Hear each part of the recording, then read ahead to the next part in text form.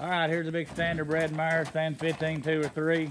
Got shoes on, tattooed on the neck. Big Purdy mare. They've been driving her to a buggy every day. Branded on the neck, nothing wrong with her. Price on her 10 and a quarter. Deadline's Friday.